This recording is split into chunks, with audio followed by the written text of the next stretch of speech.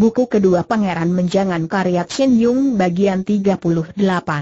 Tepat pada saat itu, Xiao Po segera melompat satu tindak untuk mundur ke belakang, Tosu itu terkejut setengah mati, dia mengulurkan tangannya untuk menjamret bocah itu, tapi empat orang Hwasyo dari Xiao Lim Xie yang ada di kiri dan kanan segera maju mengibaskan tangannya yang sedang meluncur itu. Dengan demikian, dia terpaksa membela dirinya terlebih dahulu, Xiao Po berhasil lolos, dia segera bersembunyi di belakang para Hosio lainnya, sedangkan empat Hosio lagi segera berhambur ke depan untuk memberikan bantuan kepada para rekannya. Sekarang Aye Chun Chia dikepung oleh delapan orang Hosio yang langsung melancarkan serangan kepadanya. Kena atau tidak, dia tetap diserang, dengan demikian kedelapan Hosio itu seperti bukan menghadapi lawan, mereka seakan sedang mengajak si Tosu berlatih silat.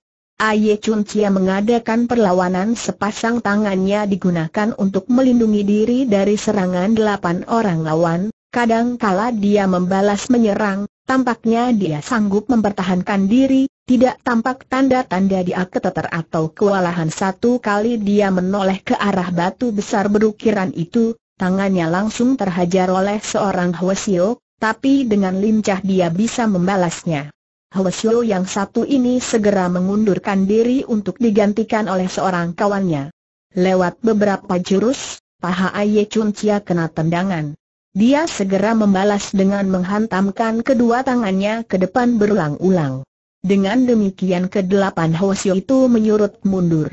Tahan teriaknya kemudian delapan Hosio itu menyurut mundur lagi dua langkah, kemudian mereka memperhatikan si Tosu lekat-lekat. Hari ini aku yang hanya seorang diri tidak dapat melawan kalian yang jumlahnya jauh lebih banyak, kata Aye Chun Chia terus terang, kitab ini aku serahkan kepada kalian, dia langsung merogoh sakunya dan mengeluarkan kitab yang dimaksudkan. Teng Sim mengerahkan tenaga dalam untuk mempersiapkan diri apabila terjadi hal-hal yang tidak diinginkan kemudian dia baru mengulurkan tangan kanannya untuk menyambut kitab yang disodorkan.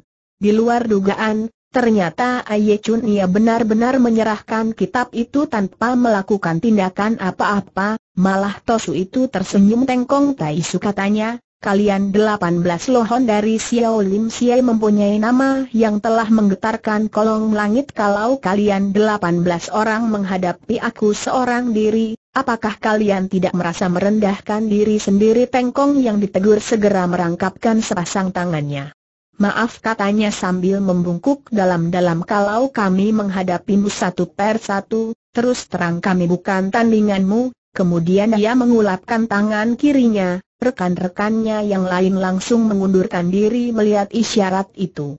Mereka khawatir si Tosu akan mencekal Xiao Po lagi, karenanya, enam orang Hwasyo segera mengelilinginya dengan maksud melindungi.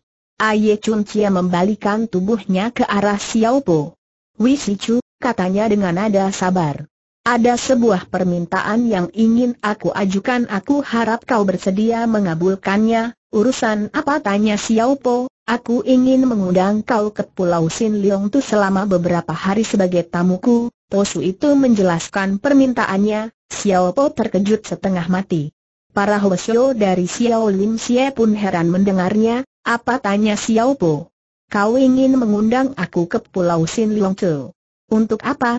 Tempat itu, harap kau jangan salah paham, Wisi Chu, kata Aye Chun Chia, Aku sudah menyerahkan kitabmu kepada Tengkong Taisu, dengan demikian urusan di antara kita telah selesai kalau kau bersedia datang ke Sin Leong kami para anggota Sin Leong Kau, baik yang tua maupun yang muda akan menerimamu dengan penuh kehormatan. Setelah kau bertemu dengan Hang Kau Chu, kami akan mengantarkan kau pulang dengan selamat tanpa kurang sesuatu apa pun, sembari berkata, Tosu itu menatap Xiao Po lekat-lekat. Dia sadar bocah itu masih merasa ragu-ragu atau kurang percaya. Cepat-cepat dan melanjutkan kata-katanya. Aku harap Tengkong Taisu bersedia menjadi saksi. Kata-kata yang telah diucapkan Aye Chunci bukan sekedar bualan belaka, Tengkong tahu Tosu itu memang termasuk golongan sesat, tapi dia tidak pernah melakukan kejahatan besar. Dia bersama sahabatnya yang bertubuh pendek gemuk memang selalu memegang teguh kata-katanya. Apa yang Chun Chia katakan, memang dapat dipercaya. Hal ini diketahui baik oleh semua orang, tapi, Wei Si ini sedang mempunyai urusan yang penting, mungkin untuk sementara belum sempat dia datang ke Pulau Sin Leong Tu, Betui. Aku memang mempunyai urusan yang penting sekali, tukas Xiao Po cepat. Lain kali apabila aku mempunyai waktu luang, aku pasti akan datang ke Pulau Sin Leong Tu untuk menjenguk Aye Chun Chia serta Hang Kau Chu, kau harus mengatakan Hang Kau Chu dan Po atau To sebawahannya, celah Aye Chun Chia. Di kolong langit ini, tidak ada seorang pun yang boleh ada di atas Hang Kau Chu, jangan sekali-kali menyebut nama orang lain di depan nama beliau, perbuatan itu benar-benar tidak menghormat dan merupakan hal penting yang harus diingat Xiao Po tertawa. Bagaimana dengan Sri Baginda Raja tetap Hang Kau Chu terlebih dahulu baru Kaisar, sahut Aye Chun Chia, Nadanya jelas dan tegas, seakan sebuah pernyataan yang tidak dapat diganggu-gugat. Hal kedua yang harus diperhatikan adalah, di hadapan Hang Kau Chu, tidak boleh memanggil seseorang dengan sebutan Chun Chia atau Chin Jin. Di dunia ini hanya ada seorang Hang Kau Chu yang kedudukannya paling tinggi dan agung. Xiao Po sampai melelotkan lidahnya saking heran dan kagum kalau Hang Kau Chu benar-benar begitu hebat, aku semakin tidak berani menemuinya, katanya.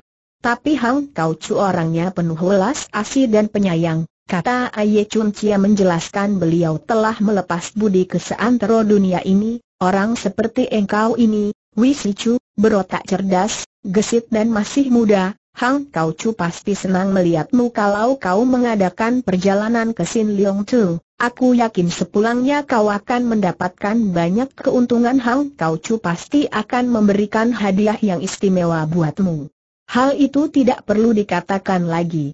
Bahkan, ada kemungkinan, bila hati Hang Kau Chu sedang gembira, dia akan mengajarkan k satu dua jurus ilmu yang sakti, dengan demikian, kelak kau akan menjadi orang yang paling gagah dan jago di kolong langit ini, Seumur hidupmu kau akan merasakan kesenangan yang tidak terkirakan. Aye Chun Chia bicara dengan tampang serius, perubahan sikapnya ini sungguh mengejutkan padahal tadinya dia tidak memandang sebelah mata pada Xiao Po, bahkan ingin menginjak kepalanya sehingga hancur lebur seperti bubur. Sekarang dia memuji Xiao Po gagah dan cerdas. Dia juga selalu memanggil Xiao Po dengan sebutan Si Chu, malah dia takut suaranya kurang jelas sehingga ketika berbicara dia membungkukkan tubuhnya sedikit agar dekat dengan telinga si bocah. Sementara itu, Xiao Po teringat akan pesan Chu Hang Eng. Terutama ketika berada di rumah keluarga Chung, dia telah melihat gerak-gerik Chiong Lo Sam dan rekan-rekannya, dia juga teringat akan Ibu Suri, Liu Yan serta laki Iaki yang menyamar sebagai Dayang, karena itu, kesannya terhadap Sin Leong Kau memang sudah kurang baik. Tapi dia harus mengakui bahwa di antara para anggota Sin Leong Kau yang pernah dia temui, Aye Chun Chia inilah terhitung yang paling jujur dan poios. Dia juga sportif, hanya sayang dia juga agak sembrono dan wataknya keras kepala sekarang dia mengundang aku ke Sin Leong Tu. Tampaknya dia mengandung maksud kurang baik, pikirnya dalam hati, Kata-katanya sekarang memang manis dan sungkan, mungkin saja karena diajari menghadapi ke-18 lohon dari Xiao Lim Xie ini, tapi kalau para Hosyo ini sudah pergi, kemungkinan dia akan memperlakukan aku dengan sewenang-wenang.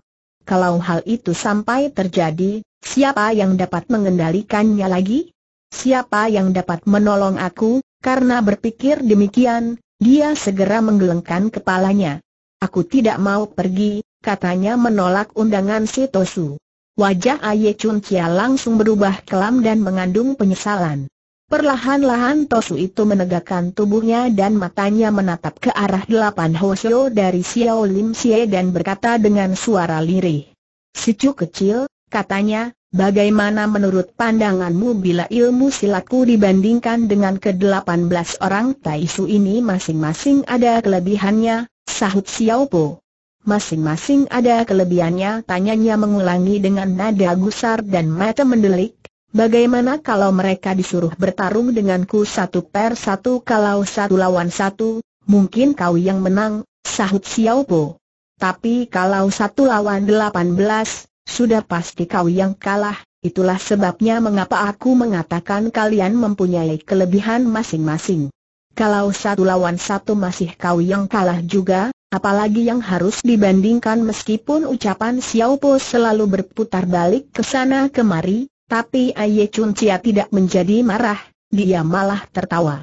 Pernahkah kau melihat orang yang ilmunya setinggi ilmu kutanyanya pada Xiao Po? Tentu saja pernah, sahut Xiao Po cepat dan lancar lemu kepandaianmu juga biasa-biasa saja, orang yang kepandaiannya lebih hebat sepuluh kali lipat darimu saja, aku sudah cukup banyak melihatnya, Xiao Po masih saja memutar lidahnya yang tajam. Bocah itu memang pandai melihat gelagat sembari berbicara, dia memperhatikan orang tosi itu lekat-lekat, tidak tampak perasaan takut sedikit pun pada dirinya. Tiba-tiba Aye Chun Cian menjadi marah kembali sekonyong-konyong dia menjulurkan tangannya ke depan untuk membekuk Xiao Po. Begitu Tosu itu melompat ke depan, empat orang Hwasyo segera mengeluarkan suara pujian kemudian maju menghadang sehingga gagalah serangan si Tosu. Ayo, katakan teriak Aye Chun Chia. Siapa yang lebih lihai sepuluh kali lipat dari aku sebenarnya Xiao Po hanya sembarangan mengoceh saja, ditanya sedemikian rupa, dia jadi terdiam. Memang dia belum dapat membayangkan siapa orangnya yang lebih jago dari Tosu ini. Kemungkinan gurunya sendiri, Tan Kin Lam, belum tentu sanggup mengalahkan Aye Chun Chia. Melihat bocah itu terdiam, Puaslah hati si Tosu, lihat katanya, kau tidak sanggup menyebutkan siapa orangnya, bukan? Kau memang sembarangan mengoceh, bukan Xiao Po cerdas sekali, dalam keadaan terdesak, memang dia sempat bingung, tapi otaknya langsung berputar. Sesaat kemudian, dia segera berkata, Siapa bilang aku tidak bisa menyebutkannya? Tadinya aku hanya berpikir tidak ingin memberitahukannya kepadamu aku khawatir kau akan terkejut setengah mati. Baiklah, sekarang aku akan memberitahukannya kepadamu, orang yang jauh lebih gagah dan hebat daripadamu yakni Tan Kin Lam, Chong Tochu dari Tian THWE. Aku pernah menyaksikan dia bertarung melawan empat orang Tosu di kota Peking, dengan kedua tangannya dia menyambar keempat Tosu itu. Bayangkan saja, setiap tosu beratnya mungkin paling tidak dua atau tiga ratus kaki. Tapi begitu menghentakkan kakinya, dia sanggup melompati tembok kota dengan menenteng empat orang tosu itu. Dibandingkan dengan Chong Tochu itu kau pasti masih kalah jauh, Hu Aye Chun Chia mendengus dingin, dia memang pernah mendengar nama besar Tan Kin Lam, tapi dia ragu kalau orang itu demikian lihai sehingga sanggup menenteng empat orang tosu sekaligus sedangkan tangannya hanya sepasang. Apalagi sambil melompati tembok kota. Karena itu dia tertawa mengejek. Kau hanya membual. Orang kedua yang ilmu silatnya tinggi sekali ialah seorang nyonya muda yang disebut Sio Kian, si kaki kecil, dari Kang Lam. Sembari berbicara Xiao melirik ke arah Song Ji. Gadis itu menggoyang-goyangkan tangannya agar dia jangan melanjutkan kata-katanya. Tapi Xiao Po tidak memperdulikannya. Nyonya muda itu pernah bertarung melawan 36 orang tosu dari Butong Pei. Dia dikurung oleh 36 orang tosu itu. Entah apa nama barisan mereka itu, para tosu itu bertangan kosong atau menggunakan senjata tanya Aye Chun Chia. Pedang, sahut Xiao Po. Barisan itu dinamakan Cimbu Kiam Tin, ilmu barisan rahasia dengan pedang Cimbu, kata Aye Chun Chia menjelaskan. Oh, Poan Tau To, ternyata pengetahuanmu luas sekali dan kau pun sudah banyak pengalaman, sehingga kau tahu tentang barisan Cimbu Kiam. Ke-36 Tosu itu mengurung sinyonya muda dengan masing-masing mencekal sebatang pedang. Sedangkan di pihak sinyonya, selain bertangan kosong, dia juga menggendong seorang anak, Aye Chun ia tertegun mendengar keterangan si Po. Apa tanyanya seakan kurang percaya dengan pendengarannya sendiri. Nyonya muda itu menggendong seorang anak. Dan dia melakukannya sembari bertarung dengan para tosu dari Butong Pe benar, sahut Sia Opo. Memang apanya yang aneh? Nyonya muda itu malah menggendong sepasang anak kembar.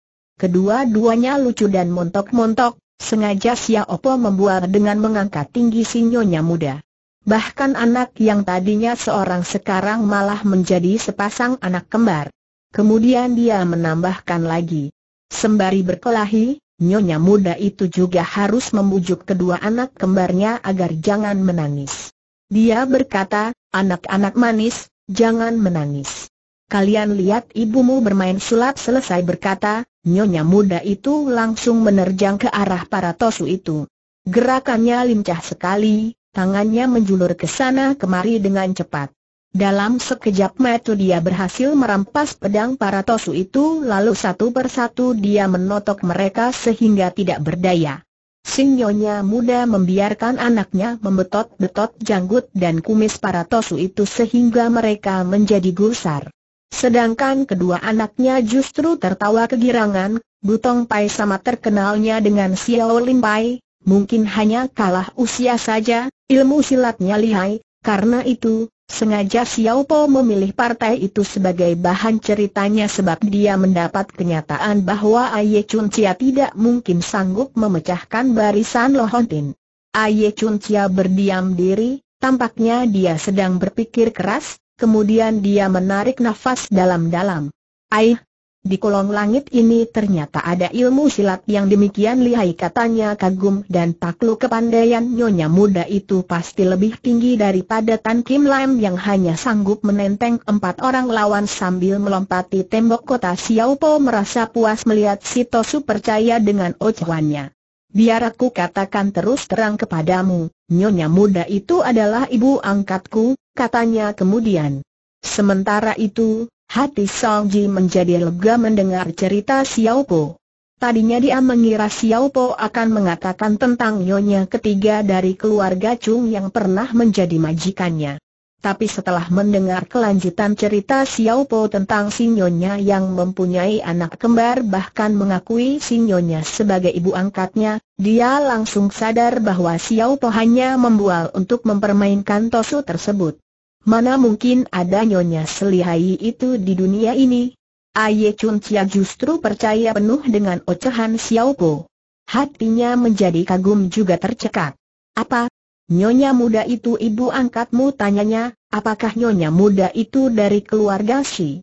Di kolong langit ini ternyata ada seorang nyonya muda yang demikian lihai tapi aku kok belum pernah mendengarnya Xiao Po tertawa. Di dalam dunia persilatan orang yang kepandaiannya tinggi, jumlahnya banyak sekali, katanya, umpama saja istriku ini, Xiao Po menunjuk ke arah Song Ji. Kau lihat tubuhnya kecil langsing, tampaknya lemah tetapi tidak disangka dia begitu lihai, bukan wajah Song Ji jadi merah padam. Bukan, katanya jengah. Wi Xiao ya, Jangan kau bicara yang bukan-bukan Aye Chun Chia menyadari bahwa ilmu silat gadis itu memang hebat sekali apabila dia sendiri kurang lihai, mungkin sudah sejak semula dia roboh di tangan Song Ji. Karena kata-kata Xiao Po memang ada benarnya, ia pun menganggukkan kepalanya. Kau benar, katanya, karena si Chu tidak bersedia memenuhi undangan ke Pulau Sin Leong Tu, ya sudahlah tidak apa-apa. Cuan-cuan sekalian, di sini Po An Tau mengucapkan selamat jalan. Taisu, silahkan Taisulah yang berangkat terlebih dahulu kata Xiao Po cepat. Sikap Xiao Po sungkan dan penuh hormat padahal dia memang ingin Tosu itu berangkat terlebih dahulu atau lekas-lekas mengangkat kaki dari tempat itu. Dengan demikian, kalau si Tosu menuju ke timur, dia akan mengambil arah sebelah barat dan kalau dia menuju ke utara, Xiao Po akan mengambil arah selatan dengan kata lain, dia tidak ingin bertemu dengan Tosu itu lagi tapi Aye Chun Chia menggelengkan kepalanya. Si Chu, silahkan si Chu berangkat terlebih dahulu karanya, aku ingin mencatat dulu bunyi huruf-huruf yang terukir di atas batu ini, Xiao Po yakin ucapannya bukan hanya sekedar dusta, dia tadinya tidak menyangka si Tosu akan percaya sepenuh hati terhadap apa yang diocehkannya, tanpa menunda waktu lagi, dia segera mengajak Song Ji serta kedelapan Hosio meninggalkan puncak Kim Siu Hang tersebut. Teng Sim mengeluarkan kitab si Cap Ji Chin Keng dan mengembalikannya kepada Xiao Po. Si Chu, apakah si Chu benar-benar langsung pulang ke kota Peking tanyanya. Benar, sahut si bocah, ada apa, Taisu kami menerima perintah dari Giok Lim Taisu untuk mengantarkan si Chu sampai di kerajaan, sahut Hosio itu. Mendengar kata-katanya, Xiao Po senang sekali. Bagus, bagus sekali, katanya, Aku justru sedang bingung kalau Tosu tadi tidak mau menyudahi urusan ini dan mengganggu aku lagi dalam perjalanan tapi, kalau Taisu sekalian melindungi aku dalam perjalanan, siapa yang menjaga keselamatan Heng Ti Taisu Sicu tidak perlu mengkhawatirkan masalah itu, kata Teng Sim. Giok Lim Taisu telah mempunyai rencana tersendiri, Xiao Po menganggukkan kepalanya, sekarang dia percaya penuh terhadap Giok Lim Taisu, meskipun Hosio itu bersemedi dengan memejamkan mata, tapi dia memang telah mengatur segala sesuatunya dengan sempurna. Kalau ditelik dari keadaan luarnya, dia bersemedi dengan khusyuk sekali mungkin langit runtuh pun dia tidak akan peduli tapi sebetulnya dia tenang dan hebat. Satu hal yang pasti, dengan diantar oleh para Hosio ini, dia tidak mengkhawatirkan apa pun lagi. Mereka segera melakukan perjalanan menuju kerajaan. Pada suatu hari, tibalah mereka di luar tembok kerajaan. Di sana ke-18 lohan dari Xiao Lim Xiai berpamitan dengan Xiao Po. Si Chu, kita sudah sampai di tujuan, sekarang kami akan kembali ke kuil kami, kata Teng Sim. Terima kasih, Taisu sekalian kata Xiao Po. Kalian sudah bercapek lelah mengantarkan aku. Kalian baik sekali nah, terimalah hormatku dia langsung menjatuhkan dirinya berlutut dan menyembah.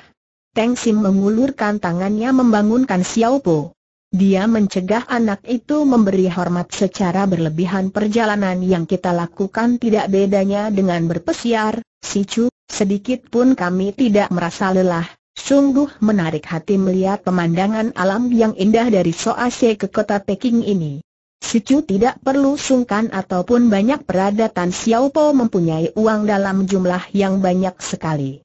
Sejak berangkat dari Ngero Taisan dia sudah menyewa 19 buah kereta, dia dan Song Ji duduk di atas sebuah kereta, sedangkan para Hosyo dari Xiao Lim Xie masing-masing menduduki sebuah kereta, Iepet diperintahkan berangkat sehari sebelumnya untuk mempersiapkan makanan, minuman, atau penginapan. Para hosyo itu dilayani dengan baik sepanjang perjalanan, meskipun mereka semua ciacai atau berpantang daging dan makanan sayur mayur saja, tapi mereka merasa puas. Apalagi sepanjang perjalanan Xiao Po memberikan tip dengan royal kepada para pelayan rumah makan maupun penginapan. Kedua belah pihak sama-sama berat untuk berpisah, para Hosio itu sangat menyukai Xiao Po yang sikapnya hormat serta pandai membawa diri.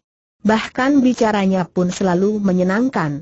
Bocah itu sendiri merasa berat berpisah dengan para Hosio itu, dia sampai mengeluarkan air mata. Sian Chai. Sian Chai Teng Sim mengeluarkan kata pujian si Cu kecil, janganlah kau bersedih hati kalau ada jodoh, Sudilah kiranya kau berkunjung ke Xiao Lim Xie agar kita dapat berjumpa lagi aku pasti akan datang kata Xiao Po sambil menangis terisak-isak. Si Chu, kata Teng Sim kemudian kita akan berpisah, izinkanlah aku berbicara terus terang, menurut penglihatanku, tampaknya si Chu terkena semacam racun. Secara diam-diam aku pernah berusaha mengusir racun itu, tapi tidak berhasil. Karenanya aku jadi heran, apa jenis racun itu sebenarnya? Xiao Po menganggukkan kepalanya, memang benar, sejak diracuni oleh He Tai Hou, sering dah merasakan nyeri di dadanya, atau lambungnya, dan rasa nyeri itu semakin terasa serta menjadi sering, kalau datangnya cepat, perginya cepat pula, karena itu penderitaannya agak berkurang, namun, sejak dihajar oleh Ibu Suri, luka itu semakin parah, tapi dia tidak menghiraukannya. Pertama karena dia masih muda, selain itu pikirannya juga terbuka dan tidak begitu mengkhawatirkannya. Sekarang, setelah mendengar ucapan Teng Sim, dia baru teringat kembali sehingga tanpa sadar dia mengucurkan air mata kembali. Aku dicelakai oleh dua orang jahat, katanya menjelaskan yang pertama menaburkan racun dalam makananku, yang kedua menghajar aku sehingga terluka parah. Teng Sim berdiam diri sejenak, kemudian dia baru berkata lagi. Kalau begitu, Si Chu, sebaiknya kau harus banyak melakukan amal, dengan demikian diharapkan segala yang buruk dapat diubah menjadi kebaikan mengenai racun yang mengendap dalam tubuh seandainya kau tidak sanggup menyembuhkan silakan kau datang ke Xiao Liam Si, di sana aku Hosio tua akan berusaha menyembuhkannya senang sekali hati Xiao Po mendengar janji ini. Dia berlutut dan menganggukkan kepalanya berkali-kali serta mengucapkan terima kasih. Bangunlah, si Cu kata Teng Sim sembari membangunkannya sekali lagi. Sampai di situ, kedua belah pihak pun berpisah. Sementara itu, Seng Ji bingung mendengar pembicaraan kedua orang itu tentang luka serta racun yang mengendap dalam tubuh Xiao Po. Xiao Ya, katanya dengan merubah panggilnya yang sebelumnya Kong Chu itu.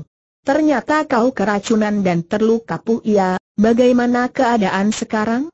Apakah kau masih merasakan sakitnya? Selesai bertanya, tanpa sempat menunggu jawaban Xiao Po, gadis kecil itu sudah menangis terseduh-seduh, hal ini membuktikan bahwa dia cemas sekali terhadap keselamatan Xiao Po.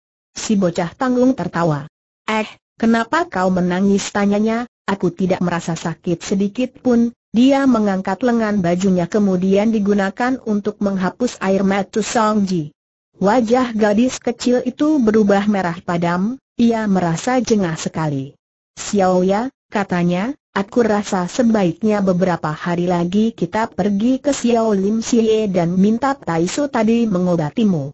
Baik, kata Xiao Po memberikan janjinya, kebetulan Teng Tong Si Hwasyo muda baik sekali kepadaku, aku ingin bermain-main dengannya, di antara ke-18 Hwasyo dari Xiao Lim Xie yang tergabung dalam Cap Alohan, usia Teng Tong yang termuda, dia baru berumur 24 tahun, tetapi dia cerdas, giat, rajin, serta tekun, belakangan ilmu silatnya mengalami banyak kemajuan sehingga terpilih menjadi salah satu anggota Lohontin.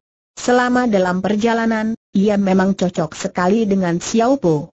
Begitu tiba di kota kerajaan, Seng Ji mendecak kagum, kota itu begitu ramai dan indah, dia sampai terpana menyaksikan segalanya.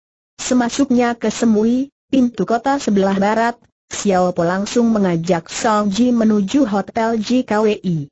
Dia minta disediakan kamar kelas 1 dan telah merencanakan untuk membiarkan Song Ji menetap di sana saja, dengan demikian keesokan harinya, bila dia menemui junjungannya, dia tidak akan mengalami kerepotan dia harus memberikan laporan tentang hasil perjalanannya. Malam itu, setelah menyuruh Song Jiji kembali ke kamarnya, gadis itu mendapatkan kamar yang terpisah. Xiao Po sendiri mulai bekerja, sejak siang harinya dia memang sudah merencanakan apa yang harus ia lakukan dan semuanya pun telah dipersiapkan. Setelah mengunci pintu, Xiao Po mengeluarkan pisau belatinya yang tajam. Setelah menggeser meja, ia membuat lubang di kolong meja itu untuk menyimpan kitabnya, Kitab si Cap Ji Cikeng telah dibungkus rapih dengan kain minjak dan dimasukkan dalam kotak baju itu segera disimpannya dalam lubang itu. Setelah dimasukkan kitab itu ke dalamnya temboknya pun dipelester kembali dengan semen yang telah disiapkan sebelumnya. Habis menyimpan kitabnya Xiao Po dapat mengeluarkan napas lega, dia berpikir dari suatu perangkat terdiri dari delapan jilid, dia sudah menyelesaikan tujuh jilid, maka dia tinggal menyelesaikan satu jilid lagi. Kemudian dia dapat pergi ke tempat simpanan harta bangsa Boan Chiu guna mencari. Menggali dan mendapatkannya, tetapi aku harus mengelabui Kaisar Kong Hai pikirnya kemudian, tegakkah aku mendusainya? Xiao Po merasa tidak enak sendiri menipu Kaisar, yang menyayangi dan menyukainya, hingga ia pun menyukainya sebagai sahabat layaknya. Dengan susah payah aku mendapatkan kitab ini dari tangan Aye Chun Chia jika tidak diselesaikan tentu kitab ini akan jatuh entah pada tangan siapa. Tak apa toh sekarang kitab ini sudah jatuh ke tanganku, berpikir demikian, Xiao Po dapat menenangkan hatinya, lantas membuka pintu kamarnya, tiba-tiba dia merasakan nyeri pada lambungnya.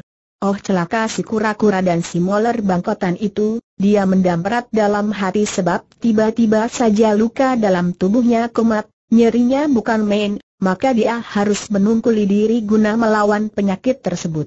Besok paginya, Xiao Po memerintahkan Iepet pergi dan mencari kereta, dia ingin mengajak Song Ji makan di rumah makan besar agar gadis itu terbuka matanya, Buat Xiao Po sendiri ia ingin membeli pakaian taikam lengkap dengan topinya agar ia dapat menghadap raja dengan pakaian baru.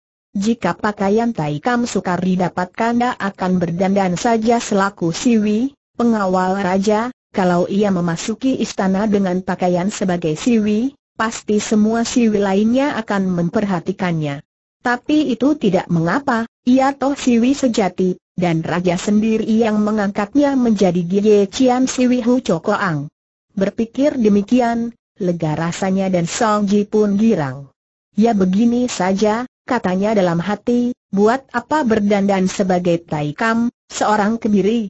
Betapa agungnya seorang pengawal pribadi raja, Lohu akan memasuki istana dan keraton Dengna memakai baju makua kuning, demikian bersama Song Ji, Tai Kam ini menaiki kereta yang dipesannya, sewaktu berbicara dia juga meniru lagu orang paha, orang kota, bahkan orang kaya raya. Lebih dahulu kita pergi ke rumah makan Ko Seng, kata Xiao Po pada kusir kereta. Masakan di sana semua lezat, Seng kusir menyahut ia lantas naik dan duduk di sisinya, dia memuji keledai penarik kereta yang disewa ini. Keledai semacam ini didapat dari provinsi Soasai. Xiao Po gembira sekali, ia tidak memperhatikan jalannya kereta, dan ia baru terkejut setelah kereta itu tiba di luar kota. Eh, eh, aku ingin pergi ke Sitan kenapa sekarang keluar kota ya, ini sebab si keledai bandel itu, kata Sais kereta, setelah sampai di jalan menuju luar kota tak mau ia memutar dan berbalik arah, Xiao Po tertawa begitu juga Song Ji. Mereka menganggap binatang itu lucu. Ah, sekalipun keledai di kota itu banyak lagaknya, kata Iepet.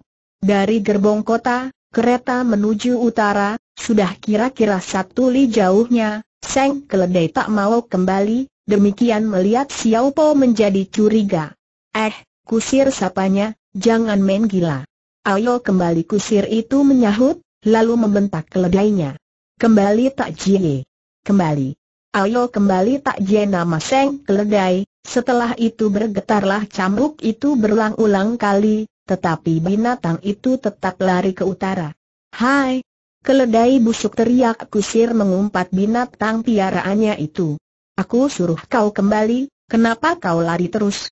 Tak Jie berhenti. Berhenti. Berhenti. Oh, binatang celaka keledai itu kabur terus. Tiba-tiba muncul dua penunggang kuda di tengah-tengah jalan, dari sisi jalan mereka ingin memotong jalan kereta, tubuh mereka besar dan keren-keren. Xiao Po melihat dua penunggang kuda itu. Turun tangan ia berkata pada Song Ji ia sendiri pun sedang bersiap karena adanya gelagat buruk, memang lagak si kusir sudah mengundang kecurigaannya. Si nona kecil mengerti dan segera bertindak ia menotok pinggang si kusir dan kusir itu pun jatuh terhuyung-huyung dari atas kereta, sedang mulutnya mengeluarkan jeritan. Hampir dia menimpa si penunggang kuda, si penunggang kuda melompat dari kudanya untuk naik ke atas kereta. Tanpa banyak bicara Song Ji menyambut orang itu dengan satu totokan, orang itu rupanya lihai, dia dapat berkelit sambil ingin menangkap tangan si nona. Sinona berlaku cerdik, dia memutar telapak tangannya dan tangan yang satunya dipakai menepuk muka orang itu. Si penunggang kuda itu menangkis dengan tangan kirinya, dan tangan kanannya menjulur ke bahu si Nona. Sama-sama mereka bertarung di atas kereta sulit mereka itu bertarung dan tak dapat lebih leluasa. Kereta pun kabur terus. Bagaimana, eh tanya penunggang kuda yang lain, apa yang terjadi pertanyaan itu tidak ada jawabannya. Sebaliknya terdengar suara menggelebuk disusul dengan jatuhnya si teman dari atas kereta, sebab Song Ji telah menghajar orang itu dengan satu tonjokan keras. Orang itu kaget dan gusar, segera ia menyambuk rambut si Nona. Song Ji yang melihat datangnya cambuk itu segera memapak menyambut dengan cekelannya, dan menyusul dengan lemparannya yang membuat Seng penunggang kuda itu tersungkur dari punggung kudanya. Saking kaget dan khawatirnya penunggang kuda itu melepaskan cambuknya dan berteriak-teriak. Sengji tidak menghiraukan ia menyambar tali kendali keledai lalu diserahkannya kepada Iepet Seraya berkata, kau kendalikan kereta ini aku, aku, tak bisa, sahut orang itu. Sengji ke depan untuk mewakili menjadi kusir sebenarnya ia tak dapat memegang kendali, namun ia terus mencoba, ia menarik tali kendali seraya berseru, Takji, Takji seperti si kusir tadi, sedangkan tangan kirinya dikendorkan dan tangan kanannya dikeraskan. Keledai itu pun memutar haluan, sama sekali ia tidak bandel. Di saat itu tampak penunggang kuda itu menghambur mendatangi suara derap langkah kaki kuda terdengar nyata. Xiao Po kaget sekali, ia menarik keretanya untuk dilarikan ke samping, para penunggang kuda itu pun memutar kudanya lalu mengejar terus. Tidak lama kemudian kereta keledai itu pun telah dapat dikurung oleh para penunggang kuda yang jumlahnya lebih sepuluh orang. Xiao Po melihat belasan penunggang kuda itu masing-masing memegang senjata. Sekarang ini hari terang benderang, di sini pula termasuk tempat kakinya Sri Baginda Raja, apakah benar kalian berani melakukan perampokan? Salah seorang penunggang kuda tertawa. Kami utusan-utusan yang ditugaskan mengundang tamu-tamu, katanya, kami bukannya kawanan perampok atau berandal, Wei Kong Chu. Chuan kami mengundang kalian untuk minum arak Xiao Po tetap curiga dan menatap semua penunggang kuda itu. Siapa majikan kalian itu tanyanya. Jikalau Kong Chu sudah bertemu, Kong Chu pasti mengenalnya, sahut orang itu. Jikalau majikan kami bukan sahabat Kong Chu, mana dapat Kong Chu mengundang minum arak Xiao Po tetap saja mencurigainya. Jikalau kalian tidak menjawab siapa majikan kalian, Undangan ini bukan undangan yang setulusnya, katanya. Nah, kalian bukalah jalan untuk kami, seorang lainnya tertawa dan berkata. Mudah untuk membuka jalan terus ia menggerakkan tangannya untuk menyerang keledai hingga binatang itu roboh dan mati seketika. Xiao Po turun dari kereta, disusul oleh Song Ji. Bahkan Song Ji bergerak cepat lalu menyerang penunggang kuda itu. Nona itu kecil dan Kate sedangkan si penunggang kuda itu jangkung maka susah diserangnya. Oleh karena itu ia hanya menotok mata kudanya, dan serangannya itu dilakukan terus-menerus bergantian ke arah kuda yang lainnya. Hingga dalam beberapa waktu saja ramailah suara kuda tak hentinya disusul dengan teriakan si penunggangnya. Sementara jalan besar itu bukanlah jalan sepi, maka banyak pejalan kaki menonton pertarungan yang luar biasa itu. Para penunggang kuda itu berlompatan turun dari kudanya, semuanya menggunakan senjatanya masing-masing menyerang Nona Song. Akan tetapi si Nona sangat gesit dan lincah, dia menyerang sambil berlompatan ke segala arah. Menyerang dan berkelebat akhirnya dalam tempo yang pendek delapan lawan sudah roboh, sedangkan empat penunggang kuda yang lainnya tidak lagi berani bergerak hanya saling memandang dengan temannya karena terheran-heran. Tengah keadaan diam itu, kembali terdengar suara roda-roda kereta, ternyata yang datang sebuah kereta kecil, kereta itu dilarikan dengan cepat, hingga dalam waktu singkat kereta itu pun sudah sampai, dan dari dalam kereta itu segera terdengar teriakan seorang wanita. Jangan turun tangan terhadap kawan sendiri Xiao Po mengenali suara itu, hatinya senang sekali. Oh, istriku datang serunya gembira. Sengji beserta keempat penunggang kuda lainnya segera menoi eh. Nona itu merasa heran karena sekali tidak menyangka kalau Xiao Po sudah beristri. Meskipun di zaman itu biasa terjadi pernikahan usia dini banyak pemuda-pemudi berusia 14 atau 15 tahun yang sudah menikah. Tapi Song Ji merasa heran karena selama ini dia belum pernah mendengar Xiao Po membicarakannya.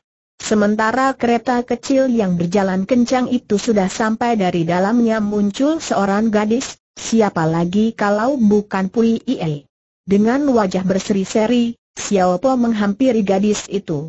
Dia langsung menyambar tangan gadis dan menggenggamnya rat-erat. Oh, kakak yang baik serunya, kakak, Aku sudah rindu sekali terhadapmu sehingga rasanya ingin mati, ke mana kakak selama ini Pui Ie tersenyum.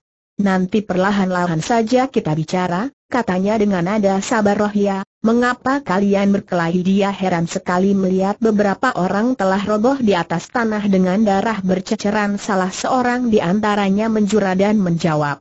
Nona Pui Ie, kedatangan kami kemari sebetulnya untuk mengundang Wikong Chu minum arak. Tapi rupanya sikap kami kurang sopan sehingga menimbulkan kegusarannya. Untung Nona datang sendiri, Pui Ie masih bingung. Dia menoleh kepada Xiao Po. Kaukah yang telah merobohkan mereka semua? Oh, tidak disangka ilmu silatmu telah mengalami kemajuan yang pesat sekali seandainya ada kemajuan juga tidak mungkin sepesat ini, kata Xiao Po terus terang, semua ini dilakukan oleh Nona Song Ji yang telah melindungi diriku, karena itu pula, dia terpaksa memamerkan kepandaiannya, Xiao Po berkata sambil menunjuk kepada kawannya. Pui Iem menolakkan wajahnya untuk melihat Song Ji. Dia merasa heran sekali, nona cilik itu kemungkinan baru berusia 3 atau 14 tahun tapi aneh kalau dia sudah sedemikian lihai. Adik, kau siapa tanyanya? Song Ji tidak kenal dengan gadis yang menyapanya itu. Meskipun ketika berada di rumah keluarga Chung, mereka pernah ada dalam satu atap tapi mereka tidak sempat bertemu, mendengar pertanyaan itu, ia segera melangkah maju dan menjatuhkan diri berlutut di hadapan Pui Ie. Nyonya muda, terimalah hormat Song Ji katanya. Xiao Po tertawa terbahak-bahak mendengar panggilan Song Ji kepada Pui Ie sedangkan wajah Pui Le langsung berubah merah padam saking jengahnya, dia lekas lekas menyingkir agar tidak perlu menerima sujud Song Ji sembari mengajukan pertanyaan kembali. Eh, kau memanggil apa kepadaku? Aku, aku bukan, Song Ji berdiri. Xiao Ya mengatakan bahwa kau adalah nyonya, sahut si gadis cilik, karena aku melayani Xiao Ya, maka sudah sewajarnya aku memanggil kau nyonya muda, mendengar jawabannya, Pui Lei langsung membelalakan matanya kepada Xiao Po.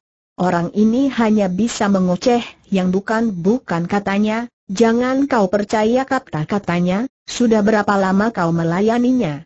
Masa kau belum kenal sifatnya? Oh ya, aku bernama Pui Ie, Ji tersenyum, dia menganggukkan kepalanya. Baiklah, sahutnya, untuk sementara aku tidak akan memanggil kau nyonya muda, tapi nanti, wajah Pui Le menjadi merah kembali. Lain kali, katanya, tapi kemudian dia tidak sanggup meneruskan kata-katanya kembali. Sebaliknya, Seng Ji memperhatikan Xiao Po dia melihat pemuda itu senang sekali, wajahnya berseri-seri dan bibirnya terus menyunggingkan senyuman, tiba-tiba wajahnya juga berubah merah, dia ingat apa yang pernah dialaminya ketika berada di Gunung Go Taisan. Di sana Xiao Po juga pernah menyatakan kepada Aye Chun Chia bahwa dia adalah istrinya. Rupanya Xiao Po hanya bergurau, pemuda tanggung itu suka sekali menyebut Nona yang masih muda sebagai istrinya. Eh, mana istriku yang satu lagi tanya Xiao Po kemudian dia tertawa lebar rupanya dia menanyakan si Nona cilik, Bok Yang Peng. Seng Ji yang mendengarnya tidak merasa heran lagi, tapi Pui Lai justru membelalak lagi kepada Xiao Po. Sudah lama kita tidak bertemu, kau bukan bicara soal yang serius, malah berkata yang bukan-bukan. Sudah, mari kita berangkat katanya. Xiao Po tertawa lagi. Kalau sejak semula aku tahu kau yang mengundang, tentu aku menyesal tidak mempunyai sayap agar dapat cepat-cepat terbang menemuimu kembali Pui membelalakan matanya. Dasar kau yang telah melupakan aku katanya, tentu kau tidak mengira bahwa aku akan mengundangmu senang sekali hati Xiao Po mendengar nada suara si Nona, Rasanya manis sekali di dalam hati. Mana mungkin aku melupakanmu katanya, kalau kau yang mengundang aku, jangankan untuk minum arak, biar untuk minum air kencing kuda sekalipun aku tidak akan menolaknya. Bahkan aku rela meminum racun, bagiku, kapan saja kau mengundang, aku pasti akan datang, dengan matanya yang indah, Pui Em memperhatikan Xiao Po. Jangan bicara manis-manis katanya, bagaimana kalau aku menyuruh kau pergi ke ujung langit atau tepi laut dan minum racun di sana? Xiao Po membalas tatapan gadis itu. Dia melihat Pui Ie bicara setengah serius dan setengah bercanda, hatinya merasa puas, Nona itu tampak semakin cantik dan semakin manis, perasaannya sampai tegang menatapnya.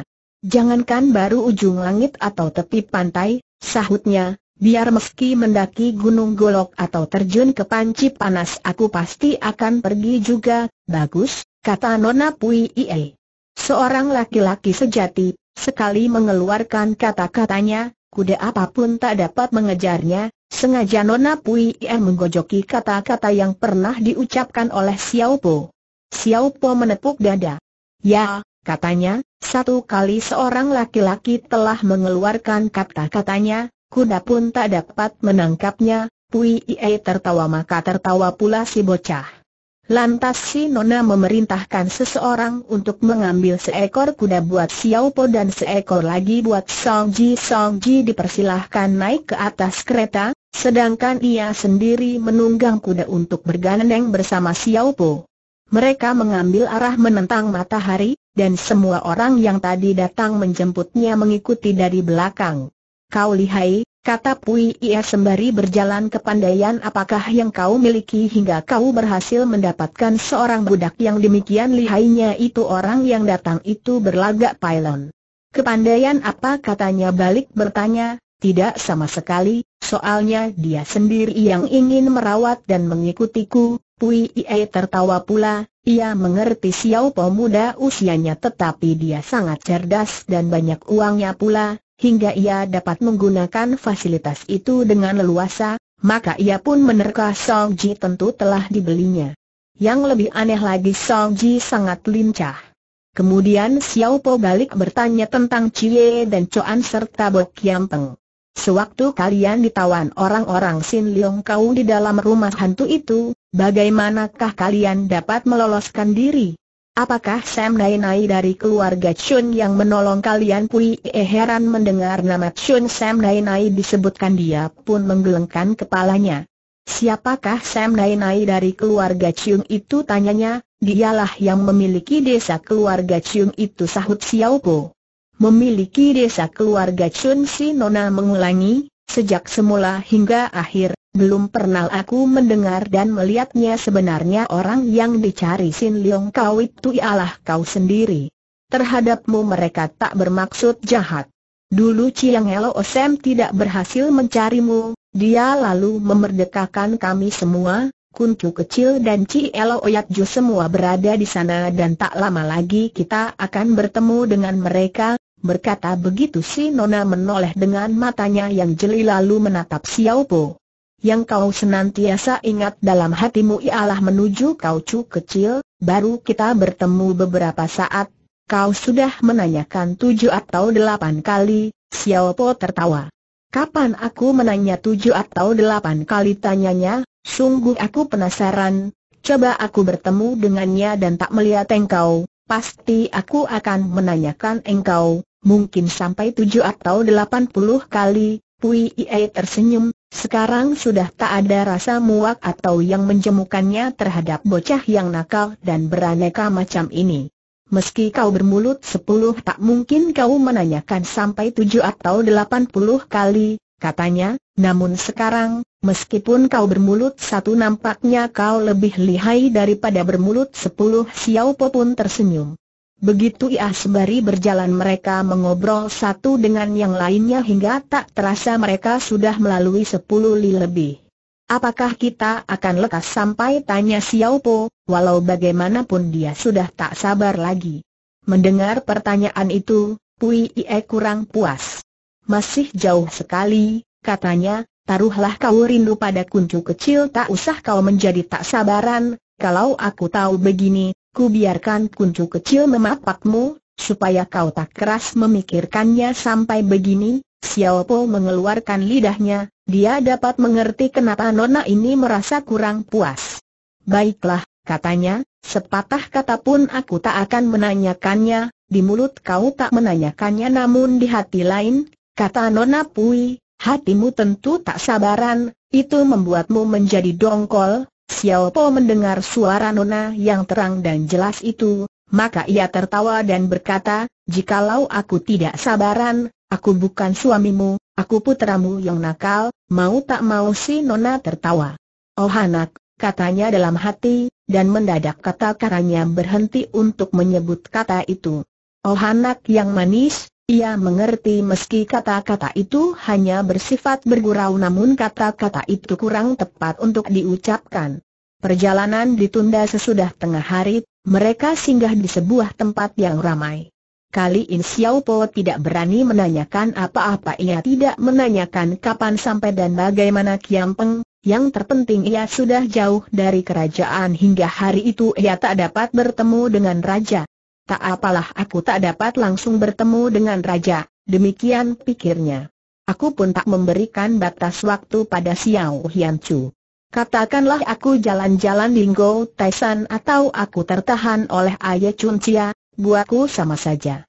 Selanjutnya muda-mudi itu membicarakan hal-hal yang tak penting selama dalam keraton, meski mereka berdua di dalam kamar, sebab mereka bersama Bok Kiam Peng, Pui Ie mengekang diri. Dia harus dapat menjaga harga dirinya, sekarang ini mereka hanya berdua. Mereka berjalan berdampingan dan kuda mereka berjalan berendeng, demikianlah mereka dapat bergurau dengan bebas, rombongan pun sengaja berjalan jauh di depan mereka. Xiao Po masih muda tetapi pergaulannya membuat mereka mulai mengerti arti asmara.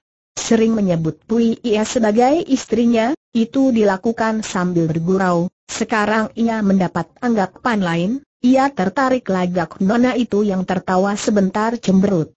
Sesudah menjalani perjalanan yang cukup jauh, Pui Ie tampak letih, dua belah pipinya yang halus menjadi merah dan keringat pun mulai bercucuran itu yang membuatnya lebih menarik. Ternyata Xiao Po terlena memandangi wajah itu. Nona Pui berpaling pada orang yang mengawasinya dengan mendadak dan ia pun tertawa. Eh, eh, Kau kenapa tanyanya, kenapa kau diam saja Xiao Po terperanjat dan kaget.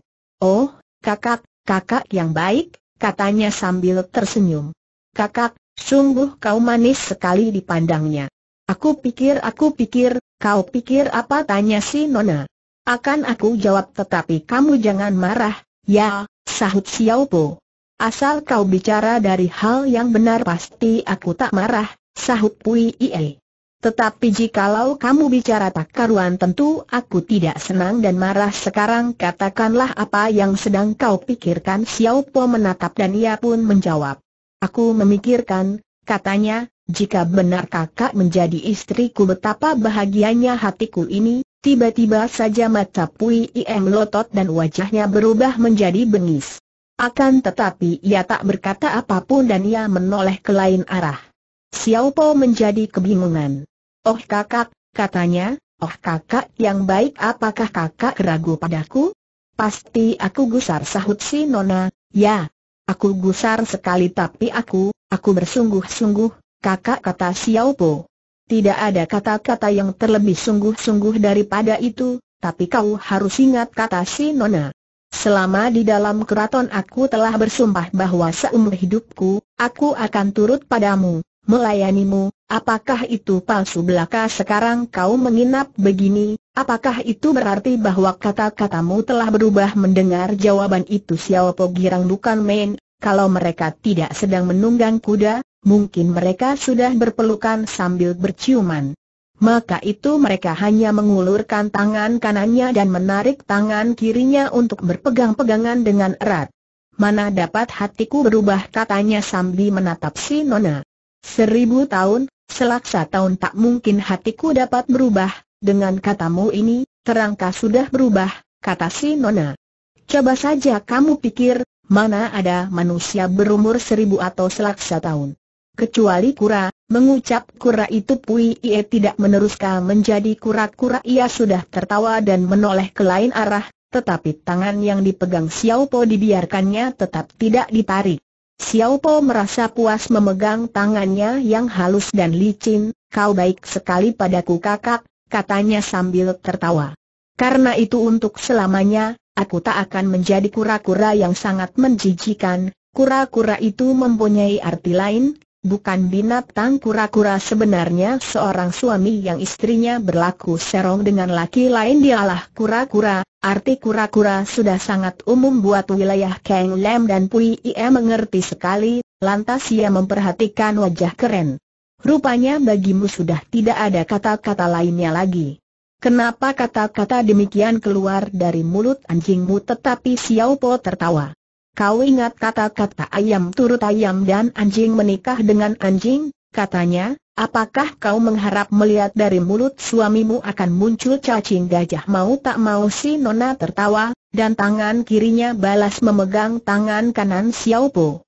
Demikianlah mereka bergurau di sepanjang jalan, Sampai waktu maghrib mereka telah sampai pada suatu tempat yang ramai dan megah dan mereka bermalam di tempat itu. Keesokan harinya Xiao Po menyuruh Ie Pet mencari kereta kuda untuk mereka dan Pui Ie duduk di dalamnya, hingga mereka dapat bergaul dengan leluasa sekali. Saat itu Xiao Po telah berani merangkul dan menyumi Pui Lei dengan tak ada bosan-bosannya.